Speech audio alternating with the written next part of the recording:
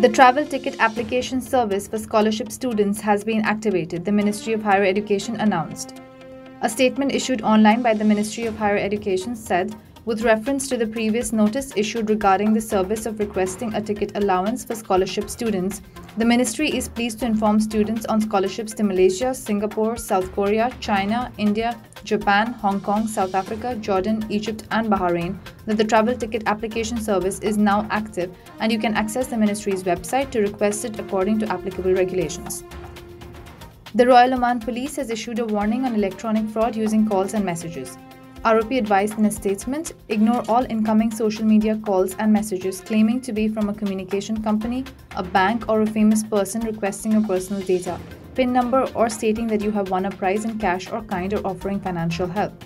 To report fraud crimes, please call the hotline for Directorate General of Inquiries and Criminal Investigations at 800 777 the statement added. The Ministry of Health announced the registration of 140 new COVID 19 cases and 16 deaths in Oman on Monday. The total cases in the country has now touched 83,226, which includes 77,812 recoveries and 588 deaths, according to the Ministry of Health. The ministry has urged everyone to adhere to social distancing instructions issued by the Supreme Committee and the Ministry of Health, as well as staying at home and not going out unless necessary.